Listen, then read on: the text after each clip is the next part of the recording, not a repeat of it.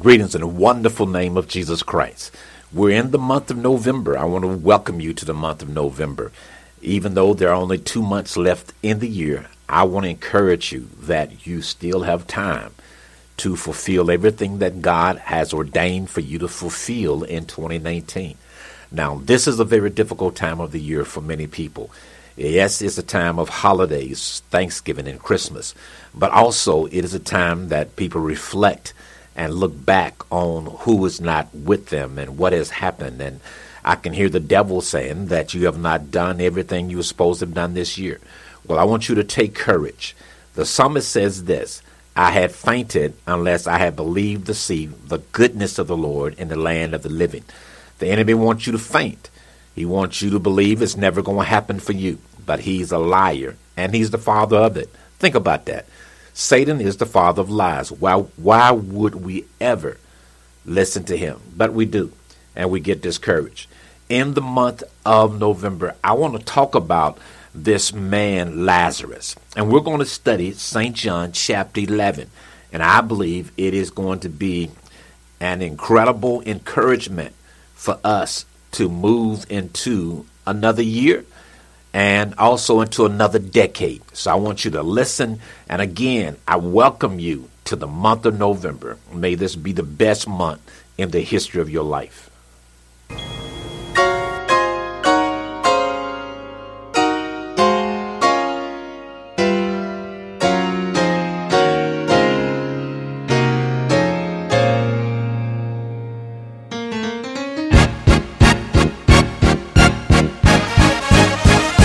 Welcome to the Words to Empower podcast, featuring Bishop Frank Stewart, pastor of the Acts Ministry in Conway and North Little Rock. And now, Pastor Stewart. Welcome back to your Acts Ministry podcast. We're talking about St. John chapter 11.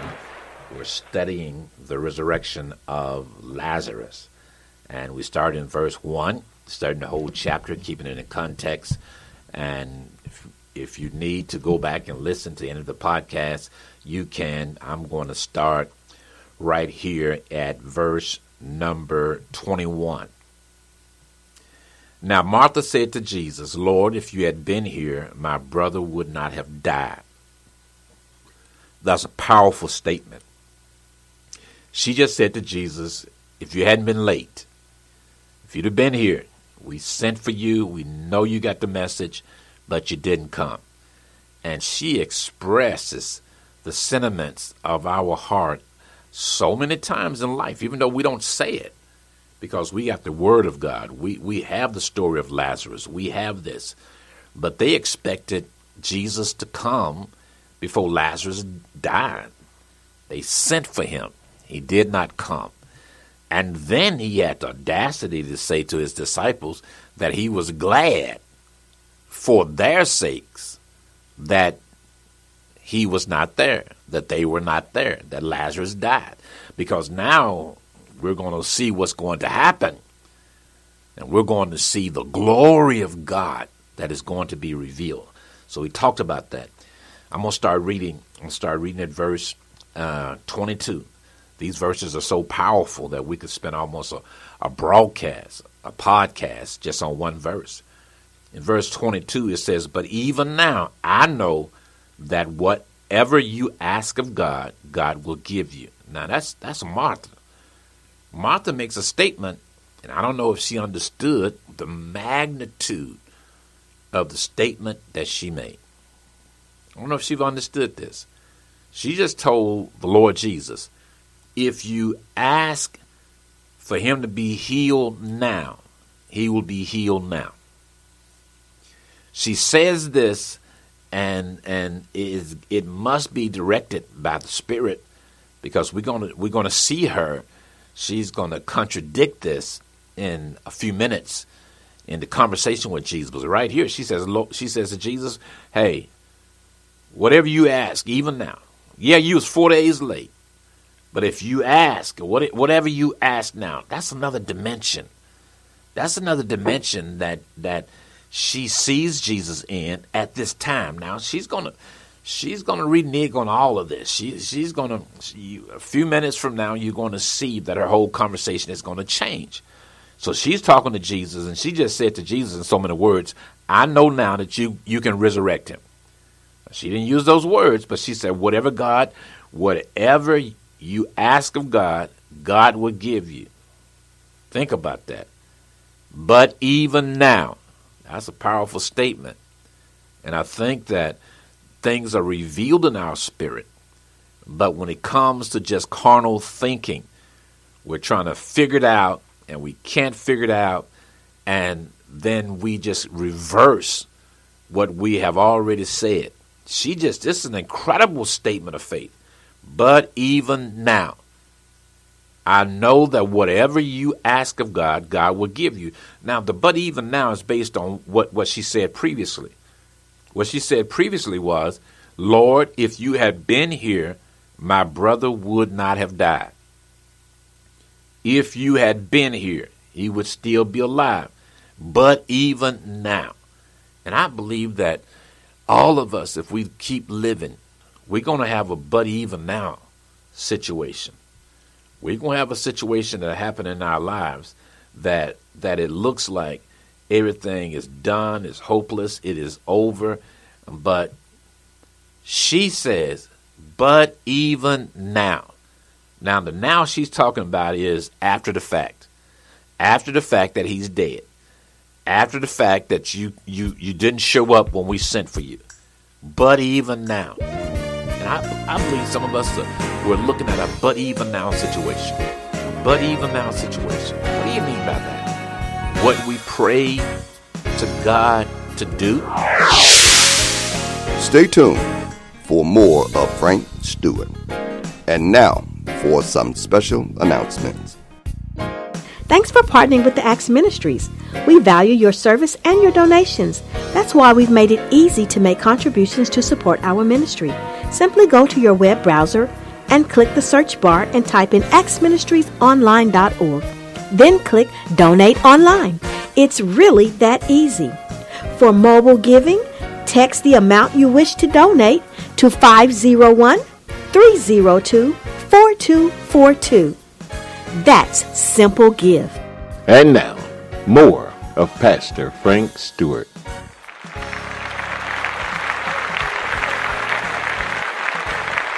It didn't get done. And we think it is over. We think it has gone to the point that it's so bad, nothing can resolve that situation, that marriage, that that sickness, that that debt, and we think that it's over. We got a dead situation on our hands. And it can be dead in many ways. It can be dead in many ways. We could be dead in debt. We could be dead in dead in relationships. So many so many things in our lives can die. But Martha just told us, but even now, and we got to get that in our spirit.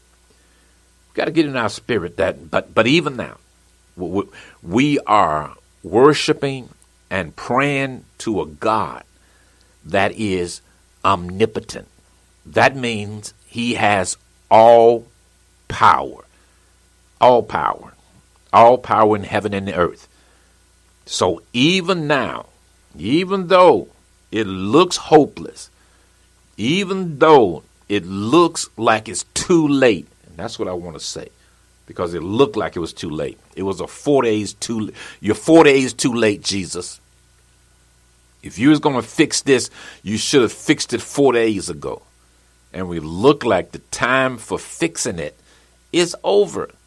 It's too late for you to fix it now. But Martha says, but even now even though what I was praying for not to happen, and it has happened, but even now, whatever you ask of God, God will give it you. Now, now this is this is very very important, very very important. This can lift us out of the depression or the heaviness that seems to come upon many people during this time of year. Thanksgiving, Christmas, and and joyful time of the year, but it is compounded with the sadness of who is not around to celebrate it with us. So it's it's it's a, it's a dreary time of the year for many people. It's a sad time of the year for many people. But I want to tell you, there's a but even now.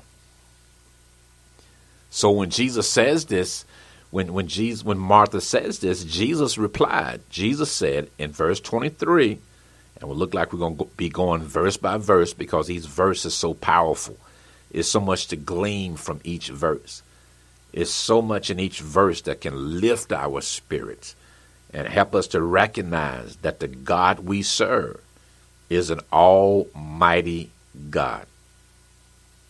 He was known he was known as the Almighty God, El Shaddai, uh, to Abraham. And the one thing that he asked Abraham when Sarah laughed, because you know Sarah laughed. I mean, we talking Sarah being ninety and Abraham being hundred, and God's talking about you gonna have a child. They thought God was cracking a joke. Ninety and hundred, and Sarah's saying, "I never had a child when I was young. Now, I'm, now I'm ninety. I'm past the age uh, of, of giving birth.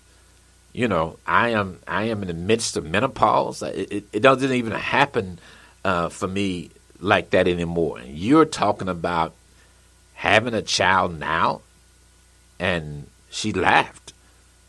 But God says to Abraham, "Is there anything too hard for God? Is it anything?" the omniscient God who knows everything, did not know anything that was too hard for him. And he, he asked Abraham this. All right? So when we understand who we're serving, yeah, it's November. Yes, we're getting ready to go into December. Yes, these people are not here. Yes, it's a bad situation. Yes, money is funny. Yes, sickness in my body. But you know what? But even now, now that, that, those are the, those are the words of Martha. She confessed faith, but you're going to see when push comes to shove. She confessed faith, but then once we get to the gravesite, it's going to be a different story. Right now, and many times we we, we got to be careful that not only must we talk faith and, and, and do our confessions and speak out loud what, what, what God has said. Death and life is in the power of the tongue. So we got to say it. We got to say it because He said it. He said it so I can say it. He said, By His stripes we were healed. I can say that, that by His stripes I am healed. Whether I'm, I'm never healed in this life, it doesn't change the truth. The fact is, I died. The truth is, I was healed. So you, you got to get the, and understand the difference there. So Jesus says to her, and I want you to look at this. Jesus says to her in verse 23 Jesus said to her, Your brother will rise again. Your brother will rise again. Now, he's getting ready to really stretch her. He's stretching her faith because she made a statement of faith, but even now. Whatever you ask of God, God will give it to you. Even though you were late, whatever you ask, God will give it to you. And and Jesus says, Jesus says to her, Your brother will rise again.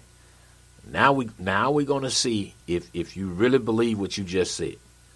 If you really believe what you just said, and do you really understand what you just said? Because the statement she makes is a powerful statement. But did she really understand what she just said? In, in verse 24, it says, Martha said to him, I know that he will rise again in the resurrection at the last day. So Martha says to Jesus, I know he'll get up. I, I know he'll rise again. Now, so you, you can see the statement that she made. And this is so very important because when we're doing our confessions and we're saying what God is God has said in His Word, if we're not careful, we will start to undermine the confession that has come out of our mouths that has been inspired by the Word of God and the Spirit of the living God. I want you to just hear that. She kind of start backing off of this. Now our time is up. Our time is up.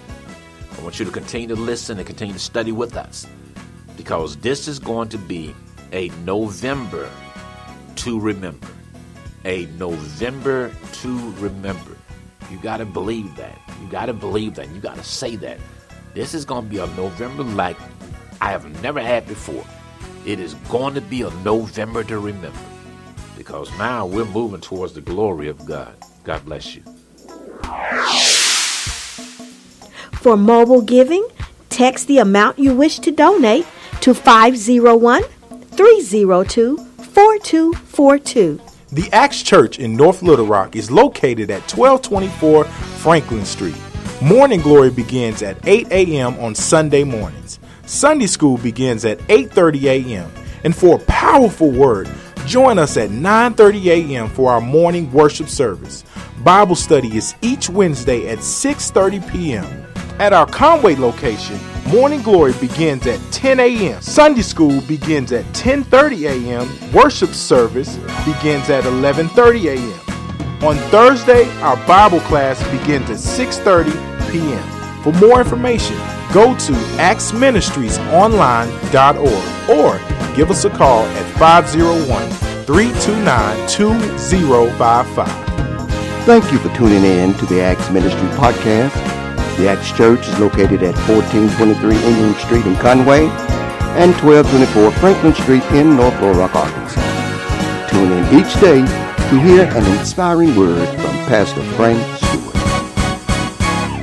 Greetings in the wonderful name of Jesus Christ. My name is Frank Stewart. I'm the pastor of Acts Ministries in Conway and also in North Little Rock. We also have an outreach on John Barrow where we partnership with the city and other ministries there. I want to invite you to partner with us in this ministry. I want to invite you to share with us in propagating the gospel of Jesus Christ. There are many things that we're doing and we're going to continue to do. We have a vision in mind on how to be a blessing to the community, communities that we're in. So we're asking you to be a partner with us. I believe that God will reward you and he will multiply you. So join us in the Acts ministry in sponsoring not only this broadcast, but what we're doing in the great city of Little Rock, North Little Rock, and also Conway. God bless you.